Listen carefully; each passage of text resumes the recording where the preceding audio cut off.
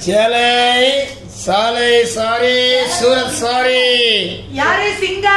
ஆ சிங்கனம் தான் வந்திருக்கம்மா. வாப்பா வாப்பா உள்ளவா உள்ளவா ஒரு மாசம் ஆயிப்போச்சு பத்தியா? இங்க அருமையான சேலை எல்லாம் வந்திருக்க புது புது சரி தள்ளி நிறுத்துங்க. போறதையே வெறி கெட்டு. ஒரு இன்னைக்கு நீங்க அருமையான சேல் பண்ணணும் இன்னைக்கு. ஆ, உட்காருங்க அண்ணே உட்காருங்க.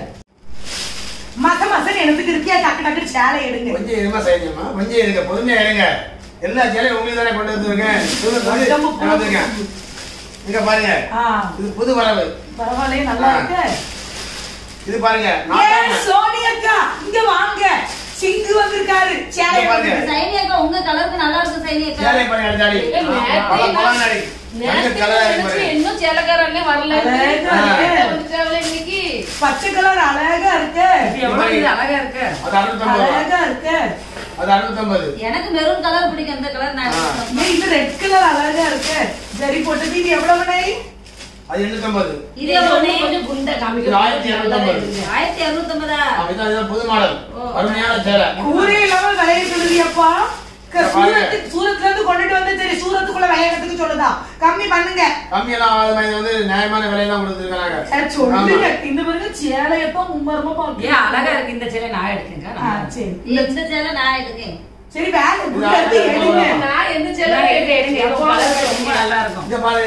அந்த துணி எடுங்கண்ணே நல்லா இருக்க துணி? பிள்ளைங்களுக்கு சின்ன ஸ்கூல் பிள்ளைங்களுக்கு போடுறதுக்கு. பக்கவட மிடி தைக்கிற மாதிரி அழகா போடலாம். ஸ்பிடில் போடலாம். இந்த தீபக் பில்டிங்ல அமுதாக்கா நல்ல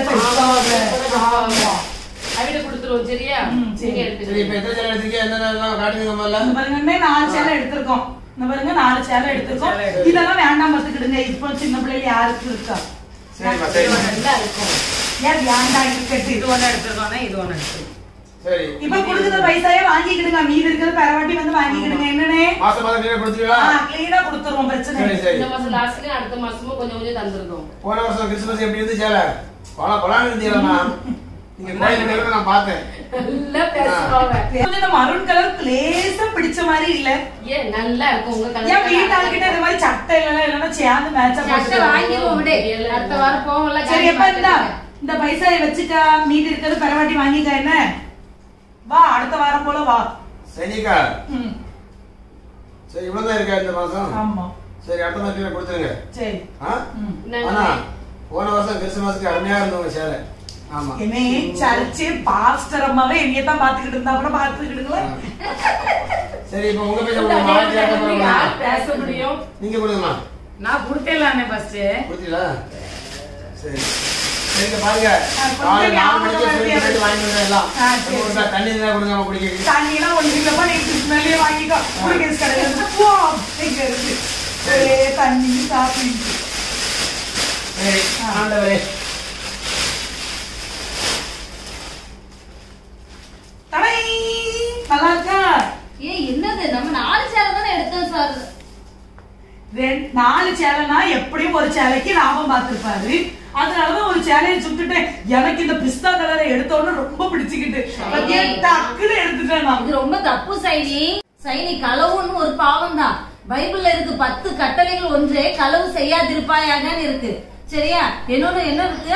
ஆண்டோடைய கண்கள் பூமி எங்கும் உலாவிக் கொண்டிருக்கிறது. இப்ப கூட நம்ம செய்யற எல்லாம் ஏசப்பாக்கு வெட்ட வெளிச்சமா இருக்கு தெரியுமா? அப்ப நமக்கு அம்மா இந்த பொம்பளை பிரசங்கம் பண்ண ஆரம்பிச்சுச்சுன்னு வச்சுக்கிடுங்களேன்.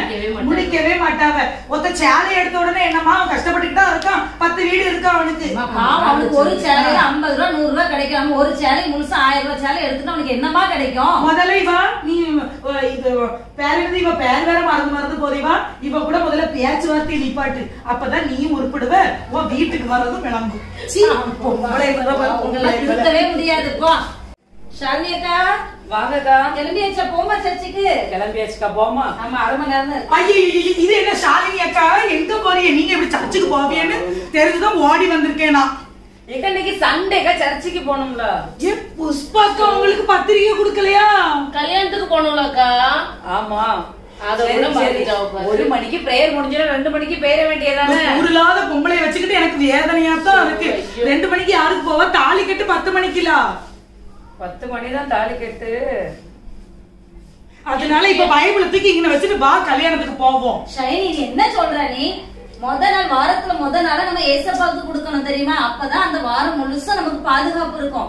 முத நாள் ஏசப்பாவுக்கு கொடுத்தோம் நமக்கு கஷ்டம் தெரியுமா? வருஷத்துல ஒரு நாள் தாங்க கல்யாணம். பைபிள்ல கொடுத்திருக்கு சபை கூடி வருவதை விட்டு விடாதுங்க பாருங்க அக்கா நீங்க சொல்றது பழைய ஏற்பாடு. இது வந்து புதிய ஏற்பாடு. இது புதிய ஏற்பாடுல தான் எழுதி இருக்கு எக்கா நான் உங்ககிட்ட ஒரு கதை சொல்லட்டா? இந்த ஆர்பிடிஎம்ல திங்கக்கிழமை திறந்த லெலிலன்னு பைபிள் ஸ்டடி எடுக்காவ அங்க பேய் பேய் இந்த இந்த இது கெட்டு போயிட்டாவக்கா? பேச முடியுதா வசனம் படிச்சு அடிச்சு விடுதாவ நம்மள? ஏதாவது சொன்னா ஒரு கேட்கல வார்த்தை சொல்ல முடியுதா? பாரு நம்மளுக்கு. ஆமா. முதல்ல ஒரு நிமிஷம் என்ன சொல்ல வராவன்னா கல்யாணம் வந்து எப்போ வ- வாழ்க்கையிலே ஒரு நேரம் தான் பரவாயில்லையம்மா கேளு. ஆனாலும் என்ன இருக்கு? கட்டளையில பத்து கட்டளையில ஒண்ணு. ஓய்வு நாளை பரிசுத்தமாய் ஆசரிக்க நினைப்பாயாக. அப்ப நம்ம கண்டிப்பா ஏசப்பா கட்டளை கை நாங்க எதுவும் அசுத்தத்தோட ஆராதிக்கலாமா பரிசுத்தத்தோட தான் ஆராதிக்கும். ஒரு நாள் கல்யாணத்துக்கு போறதுல ஆண்டு கோச்சுக்கிட மாட்டாரு. எனக்கு நேரம் ஆயிட்டு. சரி நான் கல்யாணத்துக்கு போயிட்டு முதல்ல நீங்க பொம்பளை கிட்ட ஃப்ரெண்ட்ஷிப்ப கட் பண்ணி பொம்பளையே எனக்கு பிடிக்கவே இல்லை. ஆனா என்னமோ வசனத்தை நல்லா படிச்சு வச்சிருக்கு பாத்தியா? நம்மளும் சண்டைக்கு போயிருவோமா அந்த பைபிள் ஸ்டடிக்கு? போவோமே. இப்படி எதுக்கமா உழுந்து கைய உடைச்சியே? இனிமேல் உடஞ்சது உடஞ்சது தான் போங்க. பாத்துதாக்கா போனேன். இப்படி வலி விழுவேன்னு யாரு பார்த்தா? இனிமேல் அதை சரி பண்றது ரொம்ப கஷ்டம் கை பத்தியலா சோனியக்கா. டாக்டர் அப்படி சொல்லலையேக்கா. இது என்னது.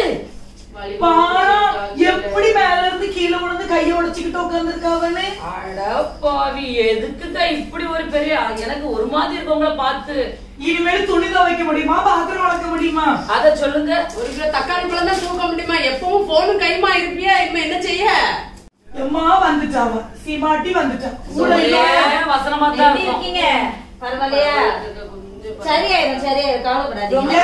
சரியாவ. எங்க இருந்து சரியாவ எழுபதுல உடஞ்சு போச்சான் யார் சொன்னா அது சரியா இருக்கா அதெல்லாம் ஒண்ணு இல்ல. மிஞ்சி போனா ஒரு மாசம் ரெண்டு மாசத்துல அழகா நார்மலா நம்ம கை மாதிரி அழகா ஆயிரும்க்கா. நீங்க கவலைப்படாதீங்க. டாக்டர் வந்துட்டாவ டாக்டர் வந்துட்டாங்கன்னா எங்களுக்கு தெரியும். அது என்னன்னா அது கொஞ்ச நாளைக்கு தான் அந்த வலி இருக்கும். ஏமா ஒரு ஆள் கவலையில இருந்துச்சுன்னா கொஞ்சம் நல்ல விசுவாசம் நீங்க இவ்வளவு சொல்லிட்டீங்களா பக்கத்து கல்லில ஒருத்தன் கீழே விழுந்துட்டான். அவ கையெல்லாம் கருப்படிச்சு பக்கவாதம் வந்து போச்சு. என்னக்கா? புருஷனும் விட்டுட்டு போயிட்டானாம்னா அப்ப நீங்க போயிட வேண்டியதுல ரெண்டு பேரும் ட்ரீட்மெண்ட் பாக்கிறதுக்கு என்னக்கா நான் கை உடைஞ்சு பக்கவாதம் வந்து அவன் புருஷன் விட்டு போயிட்டா இது எந்த ஊர் கதையாமா பக்கத்து இருக்கு கல்லில தான் நடந்திருக்கு. பொய் சொல்றதுக்கு ஒரு அளவு இருக்குக்கா? இப்படி நீங்க பொய் சொல்லி ஒருத்தவங்க மனசை வேதனைப்படுத்தாதீங்க. வசனம் சொல்லுது விசுவாசம் இல்லாம எந்த வார்த்தை வருதோ அது எல்லாமே பாவம். ஒரு மனுஷன் குழியில இருந்தா அவனை தூக்கி விடுறதுக்கு தான் வசனம் சொல்லி கொடுத்துருக்கு. எப்படி தர்மாக்கா இருக்கு. ஆவாத பொண்டாட்டி கைப்பட்டா குத்தம் கால் பத்தா குத்தோன்ற மாதிரி இருக்கு. நம்ம என்னத்த பேசினாலும் இங்க பாவம் பாவம் பாவம்ன்றதாவ எனக்கு கொஞ்சம் குழம்பு வைக்க வேண்டியதுக்கு நான் போயிட்டு கொஞ்ச நேரம் இருங்க. என்ன சொல்லுதாவன்னு தான் பாப்போம் அக்ஸு அக்கா நீங்க கொஞ்சம் கேளுங்க. இப்ப நம்ம ஃப்ரெண்ட்ஸ் எல்லாம் என்னெல்லாம் பண்ண ஆரம்பிச்சிட்டாங்க தெரியுமா? திருட ஆரம்பிச்சிட்டாங்க. அன்னைக்கு சேலைக்காரன் வந்திருக்கான் ஒரு சேலை திருடியாச்சு.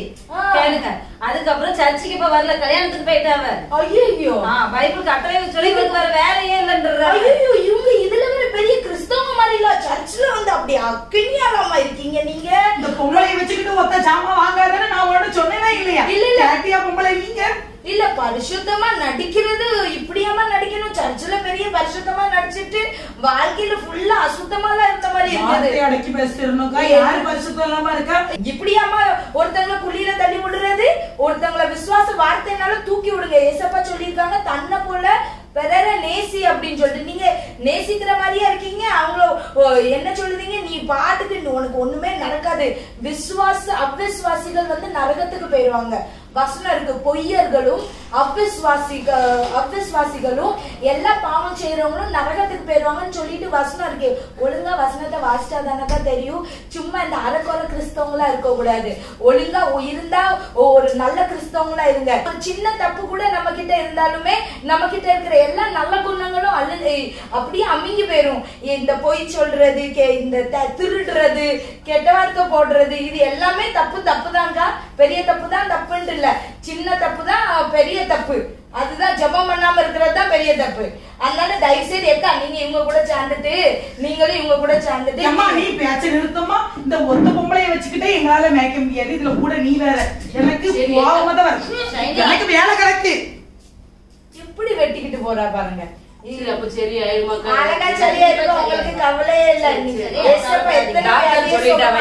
வீட்டுல இருக்காரு நானும் போறேன். என்ன பாருங்க ஏக்கா ஏக்கா அந்த சீரியல்ல பாருங்க. மாமியார் மருமகளுக்கும் சண்டைய பாருங்க. ப்ராடக்ட் அவளுக்கு தேவைதான். என்ன? இப்படி சீரியல் ஓடிட்டு இருக்குது. வாங்க வாங்க. நான் இந்த கருவாடு குழம்பு வச்சேக்கா நல்ல ருசியா வந்திருக்கு. அதான் சரி உங்களுக்கு கொடுத்துட்டு போலான்னு வந்தேன். நீங்க அன்னைக்கு நான் சொன்னதை வச்சு மனசு கஷ்டப்பட்டு பட்டுறாதீங்க என்ன? அவங்களுக்கு கை உடைஞ்சிட்டு நீங்க ரெண்டே பேர் அப்படி சொன்னீங்களா? அதான் கொஞ்சம் கஷ்டமாயிட்டு. பரவாயில்லக்கா பரவாயில்ல. பச்சை மரத்துல ஆணி அடிச்சிட்டியே. இப்ப புடுங்க வந்திருக்கியே புடிக்கிட்டு போங்க பிரச்சனை இல்லை. ஏக்கா குழம்பு கொடுக்க வந்திருக்கேன். குழம்பு என்ன மனமா இருக்கு? யார் வச்சது? நான் உள்ள மசாலாவும். சாப்பிட்டு ருசியை பார்த்து சொல்லுங்க. சீரியல் தான் பாத்துக்கிட்டு இருப்பீங்களா என்ன விழாக்கா? இன்னைக்கு இந்த இவிய கூட சேக்காளி சேர்ந்தாச்சு போல நீங்க? நேரமே போக மாட்டேங்குது அதனால செத்த பாத்துக்கிட்டு ஒண்ணுட்டு பாத்துக்கிட்டு அப்படிலாம் கிடையாது. நாங்க எங்க வீட்ல வந்து ரொம்ப கஷ்டம். எங்களுக்கு சாப்பிடறதுக்கு கூட வழி இல்ல. ஆனா நான் எப்பவும் படம் நாடகம் சீரியல் எப்பவும் பாத்துக்கிட்டே தான் இருப்பேன். ஒரு நாள் எங்க வீட்டுக்காரர் என்ன விட்டுட்டு ஊரை பார்த்து போயிட்டாங்க. வீட்டுல ஒரே கஷ்டம். ஆனாலும் நான் அதை பெருசா எடுத்துக்கிடாம ஒரு நாடகத்தை பாத்துக்கிட்டு இருந்தேன். அந்த நாடகத்துல அவன் மேல இருந்து குழந்தை உண்டானவா கீழே விழுந்த மாதிரி அதை ஸ்டாப் பண்ணி விட்டுட்டாங்க. நான் வெள்ளிக்கிழமை ஃபுல்லா தூங்கல சனிக்கிழமை ஃபுல்லா தூங்கல ஞாயிற்றுக்கிழமை ஃபுல்லா தூங்கல. திங்கள் கிழமை பத்தரை ராத்திரி வரைக்கும் சாப்பிடாம வாங்காம நாடகத்துல ஒரு பைத்தியமா இருந்தேன். ஆனா திடீர்னு பார்த்தா அவ கணவன்ட்டு நாடகத்தை முடிச்சுட்டான். எனக்கு ஒண்ணுமே ஓடலை. அதுக்கப்புறம் நான் ஜெபிச்சு ஜெபிச்சு ஏசப்பா எதுக்கு எங்க வீட்டுல ஒரே பிரச்சனையா இருக்குன்னு கேட்டா ஏசப்பா நீ இப்படி நாடகத்தெல்லாம் பார்க்காதேன்னு சொன்னாங்க. என்னைக்கு அந்த நாடகத்தெல்லாம் பாக்குறத விட்டோமோ அதுக்கப்புறம் தான் நாங்க ஜெபிக்க ஜெபிக்க பைபிள் வாசிக்க இப்படி ஒரு மணி நேரம் ரெண்டு மணி நேரம் நாடகத்தை பார்த்து டைம் பாஸ் பண்றதை விட நம்ம ஜெபிக்க பைபிள் வாசிக்க நம்ம கடவுளை தடத்துல நம்ம வீட்டுல ஆசீர்வாதம் வருது. அதுக்கப்புறம் என் பிள்ளைங்க எல்லாம் வேலைக்கு போக ஆரம்பிச்சாங்க. அப்புறம் என் கணவர் வேலைக்கு போகாம இருந்தேன். என் கணவர் வேலைக்கு போனாரு. இப்போ நாங்க நல்லா இருக்கோம். கடவுளுடைய கிருபையில. நீங்க நீங்க சொல்றதெல்லாம் பார்த்தவன் இருபத்தி நாலு மணி நேரம்ல சோம் பண்ணிக்கிட்டு இருக்கணும். வேற வேலையே செய்யக்கூடாதா? எதுக்கு அப்படி? அப்படிலாம் இல்ல. கடைசி காலத்துல வசனம் சொல்லுது கட்டு கதைகளுக்கு செவி சாய்க்கிறவங்க வந்து அப்படியே அழிஞ்சு போயிடுவாங்க. ஏசப்போட வருடம் ரொம்ப சமீபமா இருக்குக்கா. இந்த காலத்துல உட்கார்ந்து நீங்க இந்த கட்டு கதைகள் இதெல்லாம் நம்மளோட சிந்தனைகள் அப்படி பாதிச்சு நம்மள வந்து தேவையில்லாத காரியங்களை யோசிக்க வைக்கும். தூங்கும் போது நம்மளோட சிந்தனையை வந்து அப்படியே பிசாசு கெட்டி வச்சிருவாங்க இந்த நேரத்துல நீங்க எவ்வளவு நல்ல காரியம் பண்ணலாம். இத பார்த்து உங்க குடும்பத்துக்குள்ள உண்மையாவே சாபம் தான் வரும். பிசாசு உங்க குடும்பத்துக்குள்ள அப்படியே என்ட்ரி அடிச்சிருவா. நீங்க இத பார்க்க போய் அவ அந்த நாடகத்துல அந்த டைலாக் சொன்னா நானும் என் மாமியாருக்கு இப்படி ரிப்ளை பண்ணுவேன். இப்படி அதை பார்த்து நம்ம இன்ஸ்பயர் ஆகி நம்ம அப்படிதான் நம்ம வாழ்க்கையை நடத்திட்டு இருக்கோம். அதனால இந்த சீரியல்ஸ் இதெல்லாம் பார்க்க கூடாதுக்கா? சோம் பண்ணி எனக்கா பிரயோஜனம்? நிம்மதியாவா இருக்கேன். இந்த சீரியலை பார்த்தாவது கொஞ்சம் நிம்மதியா இருப்போம் என்னக்கா? சொல்லுங்க. உங்களை பார்த்து உங்க பிள்ளைங்களும் கெட்டு போயிடாம நீங்க இப்படி பார்க்காதீங்க. இதெல்லாம் நல்லது கிடையாது. ஆமா. ஏசப்பா கோவத்துக்கு ஆளாகாதீங்க. உண்மையாவே நீங்க எசப்ப கோவத்துக்கு ஆளாயிருவீங்க. இதுல நீங்க ஜெபிச்சீங்கன்னு வச்சுக்கோங்களேன். ரொம்ப இல்ல. ஒரு அந்த அந்த டைம்ல நீங்க உட்கார்ந்து ஒரு வசனத்தை எடுத்து ஆராயிங்க உட்கார்ந்து ஜெபிங்க. எத்தனையோ பேருக்கு நல்லதா சொல்லி கொடுக்கலாம். நீங்க அப்படி செஞ்சீங்கன்னா உங்க வாழ்க்கை ஃபியூச்சர் ஆசீர்வாதமா இருக்கும்க்கா? உங்க பிள்ளைங்க ஆசீர்வாதமா இருப்பாங்க உங்க கணவர் ஆசீர்வாதமா இருப்பாங்க. உண்மையாவே நீங்க இதெல்லாம் விட்டுருங்க. இந்த கட் இதுல உங்களுக்கு பாதி அவங்க நடிக்காங்க அவங்க சம்பாதிக்காங்க. ஒத்த ரூபா அவங்க ரெண்டு பேருக்கும் கொடுக்காங்களாமா அவங்க வித விதமா சாரி போட்டு வித விதமா நடிச்சுட்டு போறாங்கம்மா. அவங்க பங்களா கட்டிக்கிட்டுதாங்க கார் வாங்கிக்கிட்டுதாங்க பைக் வாங்கிக்கிட்டுதாங்க உங்களுக்கு என்னைக்காச்சும் ஏதாச்சும் கிடைச்சதா நீங்க போய் நின்னா உங்களை யாருன்னு கூட தெரியாது. அதை அவங்க நடிச்சு அவங்க சம்பாதிச்சுட்டு போறாங்க. உங்களுக்கு இதுல என்னமா கிடைக்குது? நீங்க ஜெபிச்சு ஆசீர்வாதத்தை பெற்றுக்கொள்ளுங்க. இததான் நான் சொல்லுவேன். சரி கொடுத்த கருவாட்டு குழம்புக்கு ரொம்ப பேசிக்கிய போயிட்டு வரேன் நீங்கள். ஆச்சு கேளுங்கக்கா. சரியாக்கா?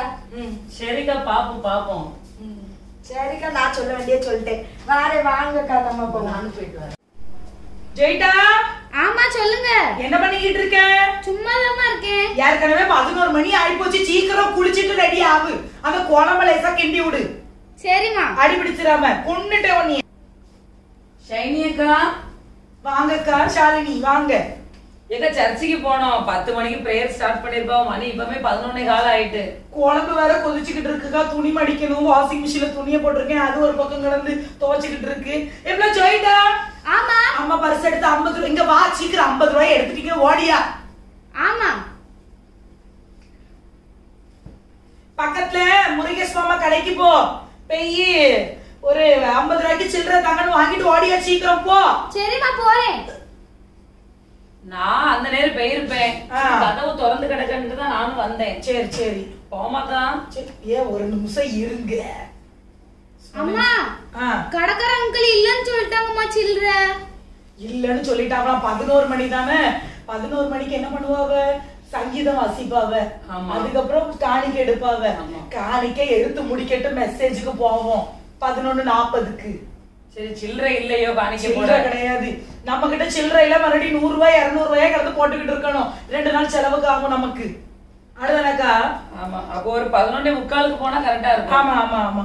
நீங்க லேசா இருங்க காப்பி போட்டு கொண்டு வரட்டுமா ஏன் வேண்டாம் இருங்க. அது எப்ப அம்மா அந்த பாஸ்டர் பொண்டாட்டி படிச்ச பாட்டையே தான் படிச்சுக்கிட்டு. படிச்சுக்கிட்டு இருப்பாவ. உடனே அவிய இந்த அஹ், இந்த ஆராதனை எனக்கு கொஞ்சம் இந்த கொஞ்சம் பிடி பிடிச்ச மாதிரி இல்ல. இருக்கட்டும் மெசேஜ்லயாவது ஆண்டு நம்ம கூட பேசுதாவில அது போதும். நான் வச்சுட்டு வரேன்க்கா. ஏக்கா இந்த பைபிள் பத்தியெல்லாம் எவ்வளவு புதுசா இருக்குன்ட்டு. ஆமாக்கா. ரெண்டாயிரத்தி பதிமூணுல எனக்கும் என் புருஷனுக்கும் கல்யாண நாள் வந்ததுல அப்ப என் வீட்டுக்காரர் வாங்கி தந்த பைபிள். எதுக்கு இவ்வளவு புதுசா இருக்கு தெரியுமா? எதுக்குக்கா இவ்வளவு புதுசா இருக்கு? படிச்சா பழசாயி போயிரும். அதனாலதான் எடுத்து இப்படி பாப்பேன் தொடச்சிட்டு அப்படியே வச்சிருவேன்.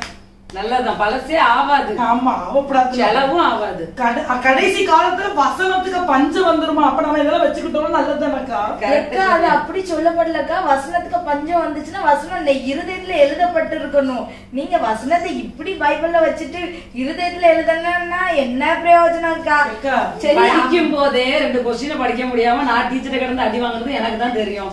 இதுல வசனத்தை எப்படிக்கா நான் இருதயத்துல வைக்க முடியும்? வசனத்தை மனசார படிச்சா பாட்டு மட்டும் நீங்க பத்து பாட்டு அங்க ஓடுச்சுன்னா சீரியல்ல என்ன நடக்குது பாட்டுல என்ன ஓடுது அதெல்லாம் மனசுல இருக்குல்லக்கா. இத நீங்க பாசமா ஆசையா படிங்க எல்லாம் மனசுல இருக்கும். ஆமா நான் என்ன கேட்கணும்னு நினைச்சேன்னா வர வர நானும் பாத்துக்கிட்டே இருக்கேன். சர்ச்சுக்கு ரொம்ப லேட்டா வந்தீங்களே என்னாச்சு இன்னைக்கு? எதுவும் இன்னைக்கு ரொம்ப பிரசங்க டைம்ல எல்லாம் வந்த மாதிரி இருந்துச்சு. பத்தே முக்காலுக்கே ரெடி ஆயிட்டேன். ரெடி ஆகி ஒரு பதினொன்னே காலுக்கெல்லாம் உன் வீட்டுக்கு வந்துட்டோம்ல இவங்க வீட்டுக்கு போயாச்சு. இவ அதான் லேட் பண்ணிட்டா. சில்லறை கிடைக்கல. காணிக்க பைசா போட வேணும்டா பத்து பத்து ரூபாயா? சில்லறை மாத்த போயிருந்தா பைசா கிடைக்கல. பிறகு காணிக்க போடலாம் நல்லா இருக்குமா? ஒரு நல்லா பிள்ளைகள் இல்ல. ரெண்டு பிள்ளைகளுக்கு மூணு மூணு பிள்ளைகள் மூணு மூணு பிள்ளைகளுக்கு ஐம்பது ஐம்பது ரூபா கொடுத்தா நூத்தம்பது ரூபா போயிரும் ஒரு நாள் செலவு. அதான் சில்லறை மத்ததுக்கு தேடி பார்த்தேன் கடற்கரை சில்லற இல்லைன்ட்டான் அதை விடுங்க. என் காலையில பத்து மணிக்கு வந்த உடனே பாஸ்டர் அம்மா நன்றி வீடம் பீடம் ஓ இதான் பாட்டு பிடிக்காத. அது வீட்டுல இருந்து படிச்சுட்டு போவது என்ன? கரெக்டா சொன்னியக்கா இதுக்கு நீங்க சர்ச்சுக்கு வந்ததுல என்னக்கா பிரயோஜனம்? வந்தீங்கன்னா மனசார வரணும்க்கா. ஏசப்பா மனசார வந்தாதான் ஏற்றுக்கொள்வாங்க. இப்படி வந்து நீங்க பேருக்குன்னு கடமைக்கு வந்துட்டு போன மாதிரி இல்லக்கா இருக்குது. ஏதோ இந்த பேர் கிறிஸ்தவங்க எல்லாம் இருக்காங்களா? அவங்கள விடலாம் நம்மலாம் ரொம்ப மோசமா இருந்த மாதிரி இருக்குது. இதுக்கு ஆவிக்குரிய சபை எதுக்கு? நீங்க இவ்ளோ ஆவிக்குரிய பைபிள் இதெல்லாம் எதுக்குக்கா? ஏக்கா வீட்ல இருக்க கஷ்டம் எங்களுக்கு தான் தெரியும் வாய் இருக்குன்னு சொல்லிட்டு நீங்க ரொம்ப பேசிட்டு இருக்காதீங்க. கஷ்டம் நீங்கணும்னா நீங்க சபைக்கு கரெக்டா டைம்ல வரணும். நூத்தம்பது ரூபா காணிக்க போடுறது எங்களுக்கு தான் தெரியும். இந்த இந்த அக்கா கிட்ட எடுத்துட்டு கிடந்து பேசிக்கிட்டு இருக்கணும். சீரியல் பார்க்க கூடாது அது பார்க்க கூடாதுன்ட்டு இந்த நான்சி பண்ற இல்லாத இடத்த இவங்க நினைச்சுக்கிட்டு இருக்கா. பா ஷாலினி. ஆர்பிடிஎம் சர்ச்சில் பெண்கள் கூட்டம் இருக்கான் அதை சொல்லிட்டு தான் நாங்க வந்தோம். வாங்க நீங்க ரெண்டு பேரும் பெண்கள் கூட்டத்துக்கு. சரி வாரம் வாரம். ஏ ஆமா நல்ல புது ஸ்பீக்கர் ஒருத்தவங்க வராங்க. அந்த லேடி பயங்கரமா பிரசங்கம் பண்ணுவாங்க. மெசேஜ் செம்மையா இருக்கும். எல்சி மாமா வா. உட்காரு. வா, வா, வா, வா, உட்காரு, உட்காரு. ஆண்டி நீங்க கூப்பிட்டீங்கன்னு மம்மி சொன்னாங்க. என்ன ஆயிட்டு இவங்க கூப்பிடல நான் தான் கூப்பிட்டேன். ஜோபிட்டாவுக்கு ஆனுவல் டே ஃபங்க்ஷன் பார்த்துக்கோ. ஆ. அதனால அவ ஒரு டான்ஸ்க்கு பார்ட்டிசிபேட் பண்றா. நீ நல்ல டான்ஸ் ஆடுவேன்னு நான் கேள்விப்பட்டேன் பார்த்துக்கோ. அத நீ ஜோபிட்டாக்கு லேசா டான்ஸ் பிராக்டிஸ் சொல்லி கொடுத்துறான் என்ன பாட்டுக்கு? ஐயோ முந்தானது தானே படம் ரிலீஸ் ஆச்சு. அந்த படத்துக்கு பாட்டுக்கு சூப்பரா இருக்கும். சரியான அது பீட் சினிமா பாட்டுமா? ஆ, நான் சினிமா பாட்டுக்கெல்லாம் ஆட சொல்லி கொடுக்கறது கிடையாது. என்னம்மா இப்படி டக்குன்னு சொல்லிட்டா இவோ? கரெக்டா சொன்ன கரெக்டா சொன்ன சொல்லுமா கொஞ்சம் சொல்லுங்க இல்ல நானுமே ஒரு வாட்டி என்னோட காலேஜ் டைம்ல ஸ்கூல்ல ப்ரோக்ராம் இருந்துச்சு. அப்ப என்னன்னா நானும் மேம் சொன்னேன் மேம் நான் சினிமா பாட்டுக்கெல்லாம் ஆட மாட்டேன் அப்படின்னு. ஆனா அவங்க ரொம்ப கம்பல் பண்ணி இல்ல வா வான்னு ஒரு நாள் பிராக்டிஸ் பண்ணேன். நைட்டு வீட்டுல இருந்து படுத்தி காலிட்டு ஃபேன் காலை வெட்டி டான்ஸ் ஆட முடியாம போயிட்டு. அதனால சொன்னேன். அப்ப எங்க அம்மா சொன்னாங்க இது கத்திற்கு பிரியமில்லாத காரியம் நம்ம இதை செய்யக்கூடாது அப்படின்னு. அதுக்கப்புறம் நான் செய்யப்பா உங்களுக்கு பிரியமில்லாத ஒரு காரியமும் நான் செய்ய மாட்டேன். அவர் கொடுத்த டேலண்ட் அவருக்காக யூஸ் பண்ணணும். உலகத்துக்காக யூஸ் பண்ண வேண்டாம் அப்படின்னு. கண்டிப்பா கண்டிப்பா. பாருங்கக்கா நான் மட்டும் இல்ல எத்தனை பேர் சேர்ந்து உங்க ரெண்டு பேருக்கும் சுவிசேஷம் சொல்லிட்டு இருக்காங்க.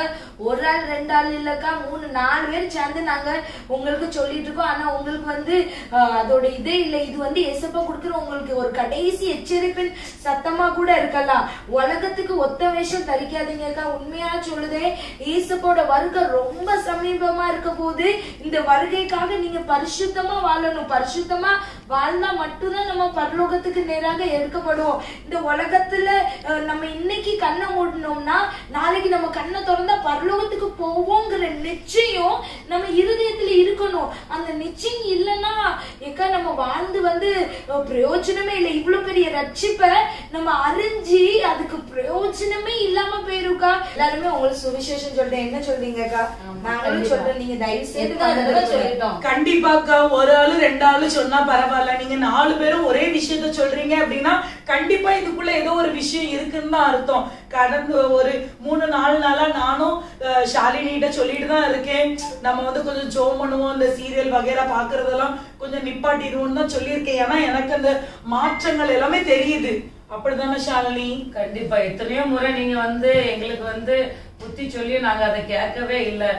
இப்பதான் புரியுது எவ்வளவு பெரிய தப்பு நாங்க பண்ணிருக்கோம்னு எங்களை மன்னிச்சுக்கிடுங்க. அசோகா கண்டிப்பா உங்களை எத்தனையோ நேரம் துச்சமா பேசிட்டேன் உங்களையும் நான் எவ்வளவோ கடிந்து சொற்களால பேசிட்டேன். நான் மன்னிச்சுக்கிடுங்க அக்கா பரவாயில்ல சார், மன்னிச்சுக்கிடுங்க அக்கா பரவாயில்ல, ரொம்ப சந்தோஷம் ரொம்ப. ஆமா ஏன்னா வியூலாக்கா வந்து எங்க கூட தான் இருந்தாங்க. திடீர்னு வியூலாக்காவும் எதுக்கு சீரியல் பாக்கீங்கன்னு சொன்னோன்னு எனக்கு ரொம்ப ஷாக்கா இருந்து அப்ப உள்ள என்னமோ ஒரு விஷயம் இருக்கு அப்படின்ட்டு. ஏக்கா நான் உங்க ரெண்டு பேர்கிட்ட ஒரே ஒரு ரிக்வெஸ்ட் வைக்கேன். வாரத்துக்கு ரெண்டு நாள் நீங்க எல்லாருமே எங்க வீட்டுக்கு வரணும். நம்ம எல்லாருக்கும் இப்படிப்பட்ட பெண்கள் வந்து தப்பு பண்றாங்க. ஆனா அவங்களுக்கு தவறுனே தெரியல. அவங்களுக்காக வேண்டி நம்ம ஜோம் பண்ணுவோங்க. எனக்கு இப்படிப்பட்ட பெண்களை காட்டித்தாங்க. நாங்க சுவிசேஷம் சொல்றோம். அப்ப நம்ம கூட்டத்துக்கு கூட அவங்களை இணைச்சுக்கிடலாம். அவ்வளவுதானக்கா? ஆமா ஆமா. கண்டிப்பா நம்ம எல்லாரும் சேர்ந்து உண்மையிலே ரொம்ப சந்தோஷமா இருக்கு. நீங்க மனம் திரும்பினது. நம்ம இந்த வாரம் வாரம் கண்டிப்பா டெய்லி எல்லாரும் சேர்ந்து ஜெபிப்போம். என்ன? வாரம் வாரம் ஜெபிப்போம். கண்டிப்பா?